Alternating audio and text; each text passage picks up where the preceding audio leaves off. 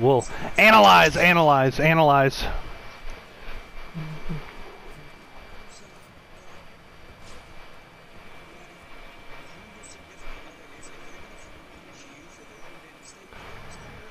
Whoa! Punishment. No.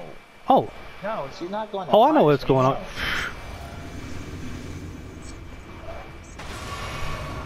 You know you fucked up, right? The worst that she's gonna say is the same thing she always says, and that's screw you, David. Hey, Nene, um, about that hour. I, I knew that instantly that th- this was the perfect time. I see. I just fucking destroyed somebody that was a Carian glitcher. By the way, I'm gonna clip that and ship.